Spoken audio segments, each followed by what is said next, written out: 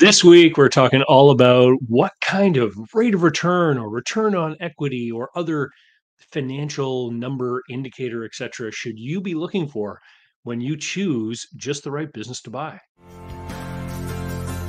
I'm David C. Barnett, and you're tuned in to Small Business and Deal Making, the podcast, YouTube channel, and blog where I talk about buying, selling, financing, and managing small and medium sized businesses while controlling risk.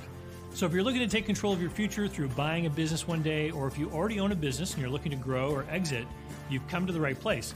I talk about interesting things, I talk to interesting people, and I answer your questions every week right here. So, be sure to hit like and be sure to hit subscribe, and let's get to it.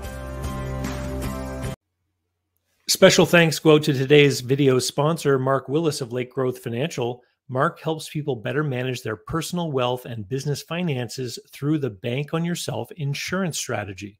This is something I've done personally and I've gotten lots of positive feedback from people I've worked with over the years. Go to newbankingsolution.com to find a playlist of all the interviews I've done with Mark and to learn more about the advantages of these programs. While there, sign up to arrange a conversation about what this solution might look like for you. Hey everyone, uh, thanks for tuning in. So this week, uh, I'm not answering a specific question. Instead, what I'm doing is I'm I'm creating a video to answer a group, a particular tranche of continuous and constant questions that I'm being faced with all over the place. Uh, and so, you know, I have one here recently, uh, an Instagram comment from Sam, uh, who talks about you know rates of return and things like that that he looks for in stock market investing and is trying to compare them with what he should be looking for in small business investing. Uh, I also had an exchange just a few days ago from the date I recorded this um, with a fellow on Twitter who, and I'll read his tweet. He says, um, I compared two companies, EBITDA of 244,000 versus 440,000. Uh, and then he has the you know return on investment and the return on equity and all this kind of stuff and he's and and he's asking you know which one should i buy and so my my video today is going to be largely based upon that conversation that I had on Twitter. Um, and I and I I get this kind of question. I understand, um, and it's not coming from the traditional business buyer that I met back when I used to own my business brokerage. Uh, it's really a function of, of this new element in the market, which is the search funder phenomenon, where you have these people that have gone through business school, you know, MBA graduates, and they've spent a lot of years in that university environment and learning, you know, spreadsheets and doing financial analysis. And uh, they've learned a lot about things like investing, maybe in stock markets, stock analysis, et cetera. And they're trying to bring that toolkit into the world of small business. And the big, big, big, big difference between big businesses, publicly traded firms, and small business is that when you analyze a big publicly traded firm, you're analyzing a company as a going concern with the entire leadership team intact. And you can look at the numbers and you can make a decision, and you're going to buy into the company as well as the leadership team. So if you like the direction things are going and there's a stable cohort of leaders there, and you you're basically going in with them and they're going to carry on their plan, whatever it is, right?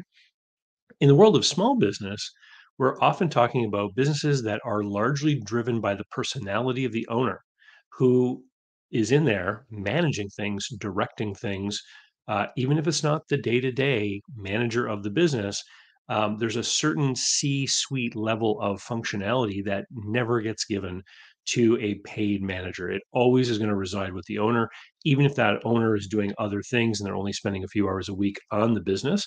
You know, major capital improvements, banking, you know, decisions about major marketing campaigns, change in product offerings, all that kind of stuff ultimately is going to be driven by the owner. And when you buy a small business, that leadership function departs and you have to fill the role. And so let me tell you just uh, a little bit about why strictly using these numbers is not entirely the best way to analyze if you're kind of trying to compare between two different small business opportunities. So, one of the areas that I think is really important for you to look at uh, beyond the numbers is the characteristics. So, we're talking about things like the employees that are there, the processes that are in place, what kind of customer mix it has between business or you know consumer walk up retail customers, for example. Is there a customer concentration issue? Um, how capital intensive is the business? Does it require a lot of big pieces of machinery to be purchased and replaced frequently? Uh, these kinds of things. So we're we're looking at the characteristics of the business, and you can have two different businesses, especially if you're looking at you know broker for sale websites, for example. You could have two businesses with similar sales numbers, similar SDE or EBITDA. And when you dig into these things, you realize that the cash flow from one could be much better than the cash flow from the other because of all of the things that come after those notional cash flow levels, capex being one of those things. Then you want to analyze what are the opportunities for these businesses. And so, if they're in two different markets, those markets may have different forward looking opportunities, right? Um, and so, you want to look at what are the opportunities. And in particular, do you have the skills as the new leader to either bring the business into those new opportunities or fix the business if it has some problems? Now, let's focus on fixing because this is important oftentimes when we're looking at small or medium sized businesses, if you strictly look at the numbers, you might see that one performs better than the other. Does that mean you should buy the better performing one? Don't forget, the price of a business is based on the cash flow. It's, you know, it should not be based on your perception of what you can do with the business. That's called blue sky. And I've got videos on blue sky, and we'll link to one, and have it floating up here. Um, so the price you pay is based to the current based on the current performance. So there is a very strong argument to say that if you find a business that has problems that is still cash flow positive, and those problems are something that you know how to fix, that's the opportunity because you can buy that business at a lower price. You can then fix the problem and improve the cash flow, maybe without even increasing the sales. And then you end up with a more valuable asset that you got at a discount because the current owner wasn't operating at you know the the most efficient capacity. Now be careful about this because some people can really fall victim to, to hubris in, in, this kind of scenario. Um, especially if you are believing that you know a lot of the stuff you've been taught is going to give you some kind of advantage oftentimes we're talking to business sellers who have decades of experience in a particular market and I, I, often question people, you know, when they say, "Well, I'm going to do this, and I'm going to do this, and I'm going to do this." I'm like, "Okay, well, those things may work. Uh, we have to explore why the seller hasn't done them, or if the seller has explored those options, you know, why did they choose not to do it? And and there could be reasons why someone didn't do it. Older owner doesn't want to embrace new technology, doesn't want to learn new things. That happens, right? And it can create opportunities with efficiency, you know, new app-driven um, solutions to help track processes and you know where workers are and keep track of time and better costing and all that kind of stuff. Those opportunities are definitely out there. So you focus on what you can do with it that's going to give you the reason to buy. As far as all of those other numbers here's what's important is that you have a positive cash flow beyond the things you know you're going to have to cover including debt service and so debt service is a is an interesting thing because when you make the payment to the bank, it's the payment you make is a combination of interest and principal. Interest is an expense for tax purposes. Principal repayment is not. You borrow money from the bank, it's not a taxable event, it's not sales. It's you borrowed the money, and when it goes back, it doesn't affect your taxes either. It's non-taxable coming out of the bank to you, non-tax. Uh, it doesn't affect taxes going back into the bank. So the principal payment that you make is part of the profit of the business. Okay. So it's going to be subject to taxes. And so you have to make sure that when you're doing your cash flow forecast, that you know that you're going to be cash flow positive when you buy this business. And as long as you are, you now have infinite runway to implement the changes that you think that you can implement to improve the business right? And if if you're uncertain about how to properly do a, a cash flow forecast, um, then I would suggest you head on over to um, this website, which is bizplanschool.com. where you can sign up for my cash flow forecasting and business plan writing program.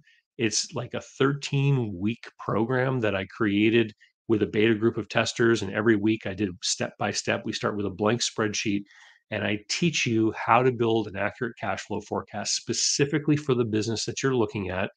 And there's five sample companies, and every week I apply the new uh, lesson to each of the five companies and they have five different characteristics. So that one's got inventory, one build, builds things custom, one is a retail uh, environment, um, one is a seasonal business, uh, two of them are um, acquisitions, and three of them are new startups.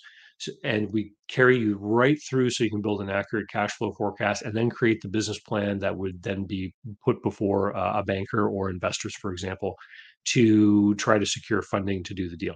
So now that the commercial's over. Now, so you do your deal, you buy the business, and you're operating, things are going well. Here's where it changes a little bit because now that you own a business in this industry and you now are an expert in how things function after you've been in there and you've been managing the business, let's say then you decide you want to go and you want to start to acquire other businesses in the same industry and you're going to roll them up or tuck them into your existing business this is where the numbers and analysis can actually become a shortcut for you because now you know how this kind of business operates. So you can look at another business in the same industry. You can look at what their sales are, what their earnings are, what their costs are, and you can benchmark it against yourself. And this is where you can start to create some numerical shortcuts that help you more quickly triage whether something is a good opportunity or not. So some of the uh, the members of the Business Buyer Advantage group coaching program are doing this. They're they acquired multiple businesses within a specific category, and now they can more quickly look at these other businesses, you know, by looking at certain numbers, and they'll know if they would be running that business more or less efficiently than the current owner. And that will give them an indication about whether or not it makes sense for them to dive in and take a closer look at that business. And it's interesting because as they get to know their industry more and more, the primary things that they examine when they're looking at these acquisition opportunities are not necessarily the numbers. It's things like customer concentration or you know the employee mix and, and things like that because they know what the challenges of their industry are. If uh, if it's you know finding qualified workers, for example, then that's one of the things that they're going to look at is they're going to say, well, what are the ages of the people that are in the business? because I know how I know how hard it is to hire. I don't want to buy a business that has a bunch of people who may be retiring in the next couple of years. That that would represent a threat to the continued uh, you know functioning of that business. Anyway, um, so I love the feedback. I love the comments. I love that you guys uh, want to ask for my opinion in these in these analyses that you do. Um, but it's not just about the numbers in the world of small business you have to get under the hood because um, you know you're not you know if you want to use a, the car analogy a big publicly traded uh, business you know you're going to buy shares it's like paying a paying a bus fare. You get on the bus you get to ride with everyone else and uh, you know the driver is taking care of where you're going and steering the wheel and someone else is taking care of all the mechanical stuff and you just you're on your way with everyone. In the world of small business it's more like a car where the the driver's going to get out and hand you the keys and then you are the one now responsible for deciding when and how and and where you go. Anyway thanks very much everyone and uh and we'll see you next time. Uh, keep sending in the questions and uh, and i'll keep making the videos. Cheers. So how can you learn more about buying selling financing and managing small and medium sized businesses? Easy. Head over to my blog site at davidcbarnett.com. You'll find hundreds of articles and videos, all for free. You'll find links to my books and online courses, and you can sign up for my email list and get emails covering topics that interest you and be notified of new videos.